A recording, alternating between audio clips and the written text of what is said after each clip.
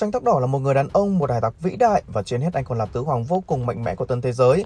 Chính Xanh đã truyền cảm hứng cho nhân vật chính của bộ truyện Monkey D. Luffy ra biển làm cướp. Anh dõi theo mọi bước tiến của cậu, thường xuyên có mặt đúng thời điểm then chốt để giúp đỡ, mà quan trọng nhất là tại tổng bộ hải quân 2 năm trước. Vì vậy mà nếu ai đó nói Xanh là phản diện ở cuối bộ truyện ngăn cản Luffy trở thành vũ hải tặc thì chắc chắn đó sẽ trở thành câu chuyện cười và nhận về vô số gạch đá. Nhưng hãy khoan cười vội bởi tác giả Ora đã xác nhận điều đó, nhưng có thể chính bạn đã vô tình hoặc cố ý bỏ qua. Và mình cũng phải nhắc lại điều này thêm một lần nữa về khái niệm phản diện. Vai phản diện trong phim xưa nay đều là kẻ xấu nên chúng ta thường hay đánh đồng. Chứ thực ra trong manga thì phe phản diện không cần hẳn đã là người xấu, mà men luôn là phe chính diện nên hễ ai đối đầu với nhân vật chính đều trở thành phe phản diện.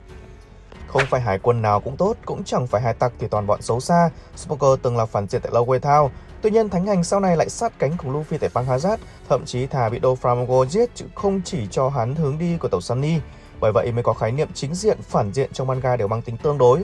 Hôm nay họ ở hai phe đối lập nhau nhưng mai lại trở thành đồng minh, thậm chí đồng đội như trường hợp của Robin. Hoặc đôi khi vốn có mối quan hệ tốt đẹp nhưng cả hai lại chung một mục tiêu khiến họ phải chạm chán. Shang và Luffy chính là như vậy. Tướng hoàng tóc đỏ chưa bao giờ là kẻ xấu. Yoda sẽ biến anh thành phe phản diện trong ác cuối cùng của One Piece bởi kho báu và ngôi vị vua hải tặc chỉ có một.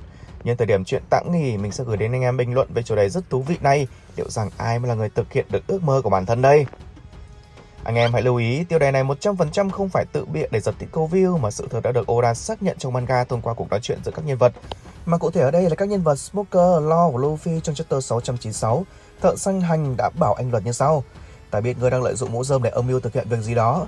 Khi ấy Lo chỉ cười và đáp rằng cũng còn chưa biết ai lợi dụng ai nữa. Bởi vì sao mà anh ấy lại nói như vậy ư? Ừ, tính của lo là lợi dụng việc cắt nguồn cung Smile khiến cái đấu nổi giận ra tay với Doflamingo rồi làm ngư ông đắc lợi. Lo muốn tiêu diệt Doflamingo để trả thù cho Rocinante. Chính anh nói với Luffy về hai lựa chọn để tồn tại ở tân thế giới. Một là quy thuận dưới trướng tứ hoàng và hai là nổi dậy lật đổ họ. Tuy nhiên Luffy chọn phương án thứ hai, nhưng tham vọng của cậu còn lớn hơn thế, cho nên Lo mới nói chưa biết ai lợi dụng ai. Luffy rất muốn biết cái tên mà Lo nhắm đến.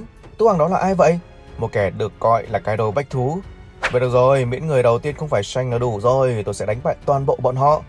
Về mặt Luffy khi nói ra điều đó vô cùng tự tin và chắc chắn, chính mồm Luffy tuyên bố sẽ đánh bại tất cả các tứ hoàng. Bản thân cậu đã xem Shanks là đối thủ chứ không hẳn là một thần tượng giống lúc nhỏ nữa. Bởi cậu hiểu đã ra khơi thì ai cũng nghĩ tới danh hiệu vua hải tặc, dù đó có là Shanks thì Luffy cũng không nhường. Cậu cũng chẳng muốn ông chú nhường nó cho mình mà sẽ tự giành lấy. Miễn người đầu tiên không phải Shang là được. Luffy chưa muốn phải đấu với thần tượng sớm như vậy, cậu sẽ loại bỏ các tướng hoàng khác trước và Shang là người cuối cùng cần phải vượt qua. Giờ cho anh em đã thấy mình không tùy tiện giật tít câu view rồi chứ. Mồm thằng bên nói thế mà chính tác giả Oda nhét chữ vào mồm nó chứ ai đâu. Chữ tổng hợp không hề nhét chữ vào mồm nhân vật. Vốn dĩ người đọc luôn mặc định coi Shang là thần tượng của Luffy cho nên lùi sẽ không đánh nhau với ông chú mà cả hai phải hợp sức lật đổ Im Sama và chính quyền thế giới mới hợp lý số đông. Hoặc nếu có phải loại Shang ra khỏi cuộc chơi, người làm việc đó phải là dâu đen thay vì Luffy. Nhưng đấy là anh em nghĩ còn Oda dự tính gì thì chưa biết. Chỉ biết rằng thằng con đẻ của Oda đã tuyên bố sẽ đánh bại tất cả tứ hoàng, trong đó bao gồm cả Shang tóc đỏ. Không phải người đầu tiên, vậy thì khả năng cao nhất là Shang sẽ trở thành đối thủ cuối cùng của Luffy trên con đường chinh phục kho báu One Piece. Lý do là họ đã có lời thách đấu với nhau cách đây 13 năm. Một ngày nào đó, cháu sẽ tập hợp được những đồng đội tuyệt vời hơn những người ở đây và cháu sẽ tìm được kho báu lớn nhất thế giới. Cháu sẽ trở thành vũ hải tặc. Khi Luffy tuyên bố hùng hồn như vậy, ai cũng cười cậu vì coi đó là ước mơ của trẻ con. Nhưng Shanks đã làm gì? Anh trao cho Luffy chiếc mũ dơ mà bảo Chiếc mũ này rất quan trọng với ta đấy Nhất định nhóc phải trả lại cho ta đấy nhé. Khi nhóc đã trở thành một hải tặc oai hùng Anh còn cười và nói với Ben Beckman rằng Luffy làm anh thấy bản thân mình hồi nhỏ. Chắc hẳn anh em vẫn chưa quên flashback về Kozuki Oden chứ. Shanks đã từ bỏ đi cùng bằng Roger từ Latel Anh ở lại chăm sóc Bergy Và có nói một ngày nào đó sẽ tới hòn đảo đó bằng con tàu của riêng mình.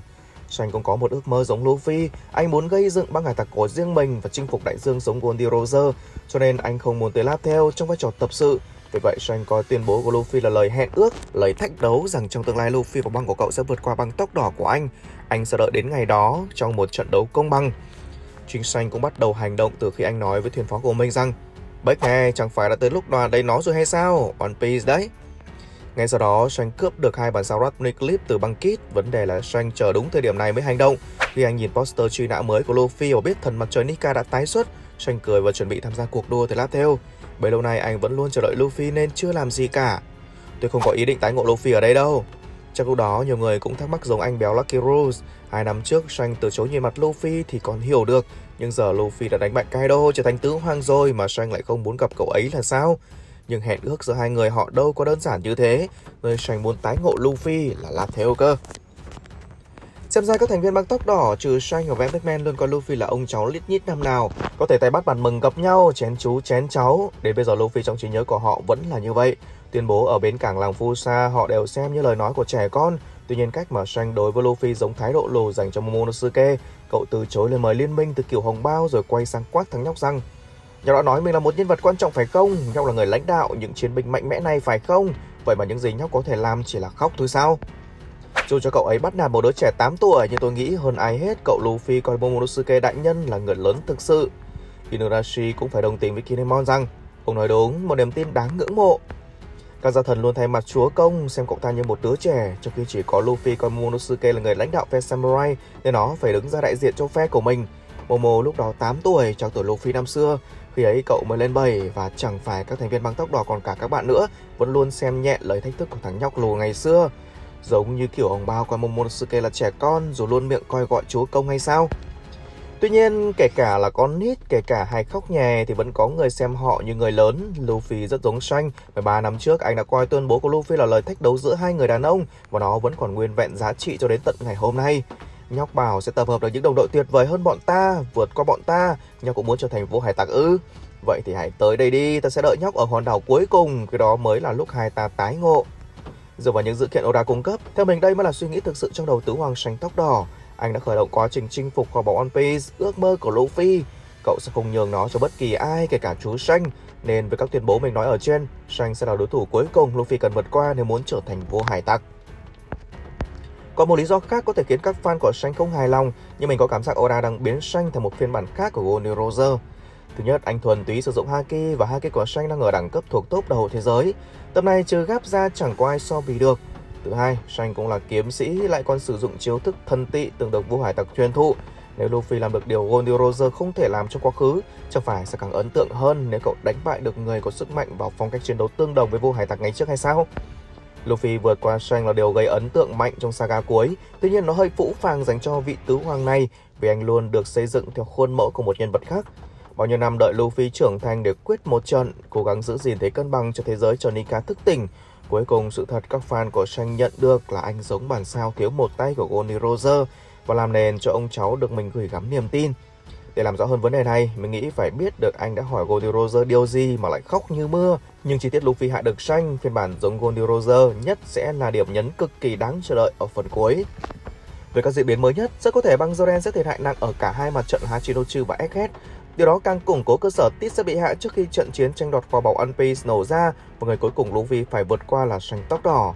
Hiện anh đã lấy được Harat Clip có Mbappé làm đồng minh, cũng tức là tiếp cận được thư viện Mbappé và biết mọi nghiên cứu của Ohara về lịch sử chống về Clip.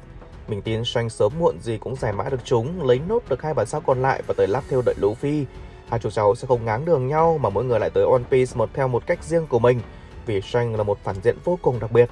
Anh chỉ như đối thủ được bên tôn trọng, anh đàn ông có chung ước mơ nên phải quyết đấu xem ai sẽ đoạt được ước mơ đó. Roger và dâu trắng, Roger và Gap, họ đều là những cặp đối thủ như vậy thay vì kẻ thù. Chẳng ai dám gửi vợ con mình cho kẻ thù chăm sóc như Roger, cũng chẳng ai lại nuôi dạy và liều mạng vì con trai kẻ thù như Gap hay dâu trắng. Hãy nhìn nhận Luffy và Shanks theo góc độ đó. Cá nhân mình rất mong chờ trận chiến này. Còn anh em thì sao? Để lại ý kiến dưới phần comment nhá. Và nếu thấy hay đừng quên nhấn like, subscribe để ủng hộ cho kênh Chuyện Tổng hợp. Xin chào và hẹn gặp lại.